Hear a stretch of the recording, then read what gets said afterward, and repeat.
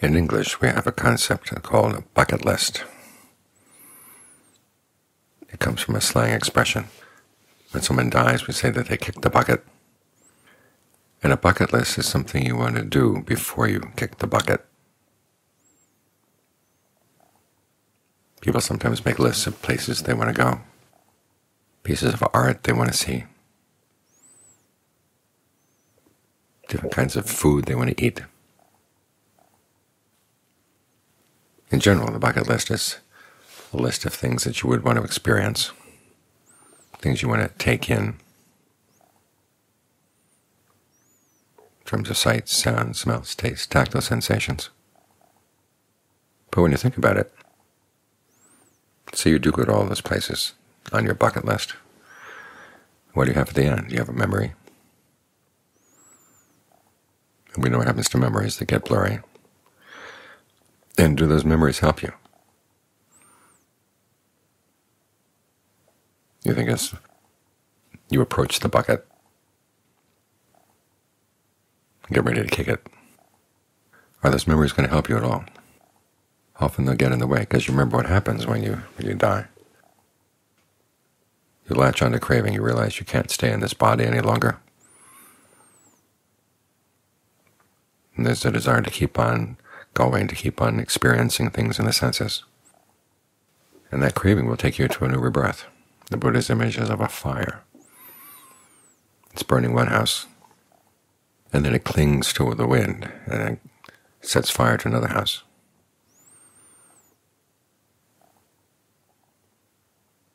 So memories say of having gone to a Buddhist holy spot or having gone to a particular mountain, particular river. If you latch onto that, won't necessarily take you to a good place. If you do go to the Buddhist holy spots, you see people who were born there, who've lived their lives there. For the most part now they're not Buddhist. For them it's just a way to make money off of the tourists that come.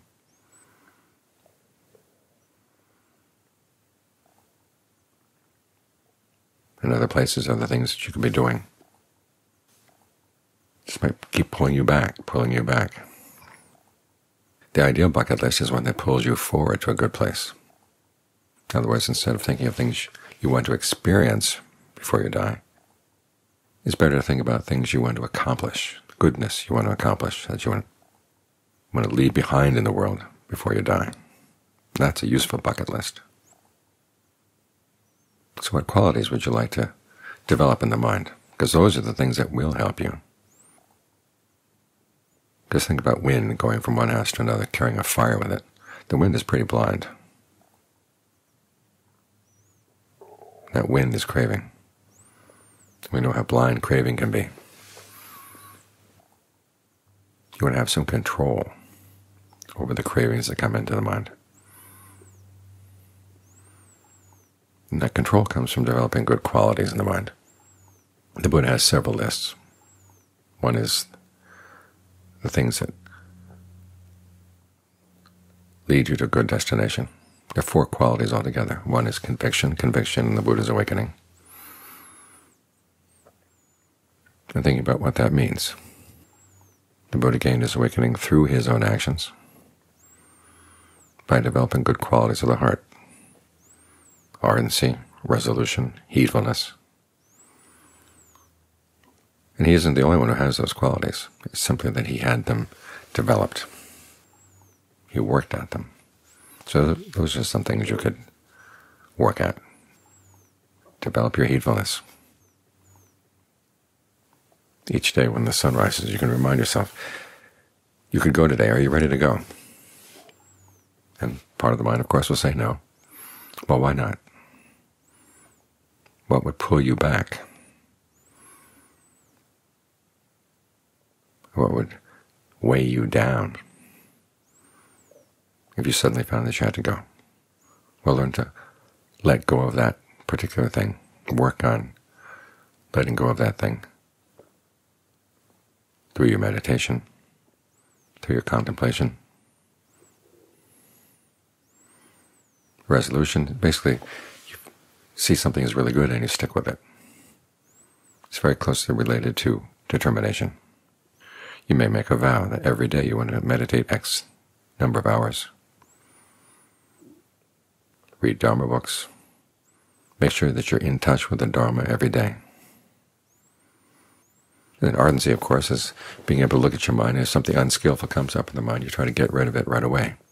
The Buddha's image is of a person with his hair on fire. Sensual desire comes up, anger comes up, greed comes up, jealousy, envy. You want to put these things out.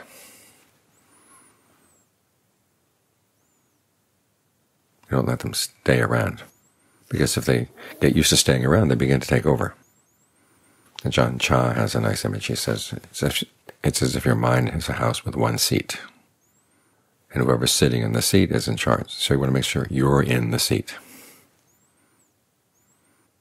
A thought comes up, Think about someone visiting the house with an idea. Wouldn't it be nice to go here? Wouldn't it be nice to go there? Or to do this, do that? You have to stay in the seat and ask yourself, well, if I actually did that, where would it go? Don't let that person come in and take over the seat. You have to be in charge all the time. Now, there will be things you do have to think about, but it's good to have thought about them first before we jump into that particular thought and right off.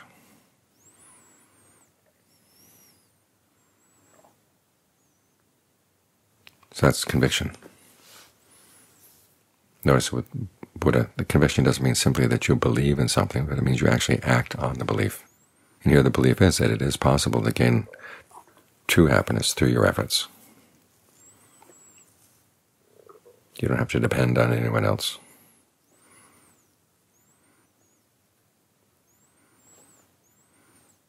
And so every time a decision comes up in the mind, to think about this or to do that or to say this,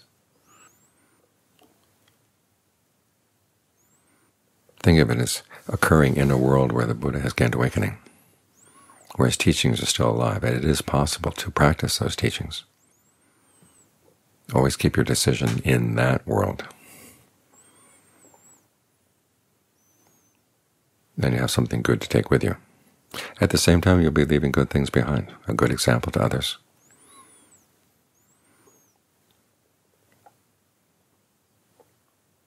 A more peaceful environment around you. The second quality is virtue. You want to make sure that your actions are in line with the five precepts, because you don't want the kind of karma that comes from having broken the precepts. And there's a certain pride, a certain sense of self-esteem. This is a healthy pride that goes with observing the precepts. And it builds up a momentum. Because that is one thing you have to watch out for as death approaches. Are thoughts really that are beneath you? See, in this particular lifetime you wouldn't dare do this or that, but here's an opening in another lifetime where you could get away with things. Sensual desire appears, something you're angry about appears. And if you have the self-esteem that says, no, I'm better than that, you don't let those thoughts pull you down. The third quality is generosity. Here you really are leaving good things behind in the world. And as I said, the things you leave behind are, the, are really yours the things you try to hold on to, those get torn away from your grasp as you die. But the things you've given away, the time you've given away, the energy you've given away, those things are yours. And the image he has is of there being like relatives who are already there on the other side, and they greet you like relatives would. A loved relative who at last has come home so as you go into that other world. It's a good world to go, a place where you have a home. And there are people to welcome you. Devas to welcome you, ideally. And then finally, the last quality is discernment. The Buddha calls this penetrating discernment into arising and passing away that leads to the right ending of stress and suffering. Now, you don't simply watch things come and go. As you meditate, you try to get a sense of which things are good things to come and which things are good things to go. That's what's meant by penetrative. And you begin to realize there are certain qualities of mind that you can give rise to. They may not be there yet, but you can give rise to them. Or there may be qualities that are already there that are not so honorable, not so good. But you don't have to hold on to them. You don't have to say, well, this is just the way I am. If the Buddha had said, well, this is just the way I am, he would have stayed in his palace. If all the great Ajaans, when they were young, just said, well, this is just the way I am, they would have stayed as farmers. They would have stayed with their greed, aversion, and delusion, and there'd be nothing special there to remember. But they took it upon themselves to say, well, there are better things I can give rise to, and these are these bad things I can let go of. And here's my chance. This is what's really nice about the Dharma. It doesn't make itself available only to people who are wealthy or people who have lots of free time.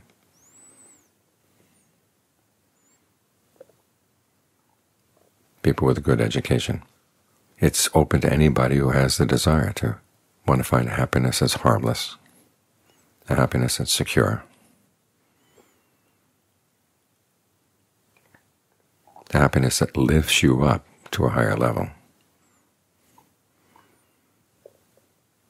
And as you develop your discernment through mindfulness and concentration, you begin to realize that, yes, you can develop those good qualities. They're open to you. So there you are. Conviction, virtue, generosity, discernment. There's another list that the Buddha associates with the qualities that lead you to be a deva. Because sometimes you look at the human world and you say, this is not a world I'd want to come back to. And it is possible to practice the Dharma on the Deva level, so that one extra quality is learning, reading the Dharma, memorizing the Dharma. So you have good Dharma phrases in mind. Because you think about the moment of death, as you approach death, lots of different thoughts will be pulling you in lots of different directions, and it's good to have some good Dharma phrases in mind. May all beings be happy. I am the owner of my actions.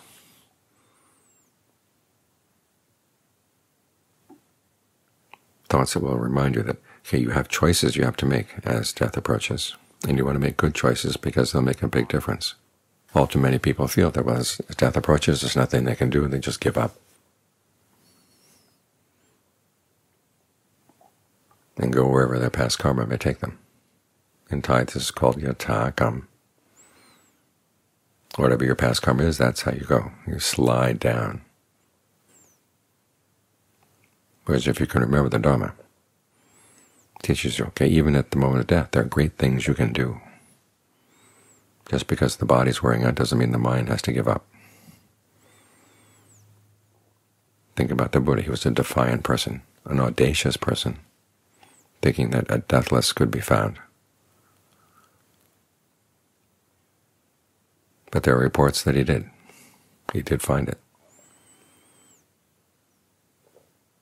So you want your mind to be audacious and dauntless, even as aging comes, as illness comes, even as death comes.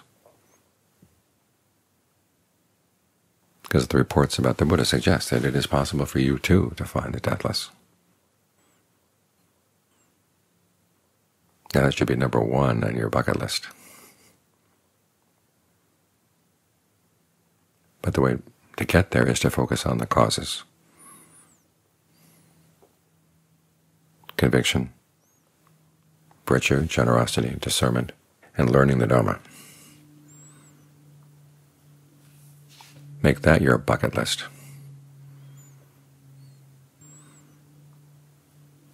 And you'll leave good things behind, and you'll take good things with you. And there will be good things to meet, greet you on the other side.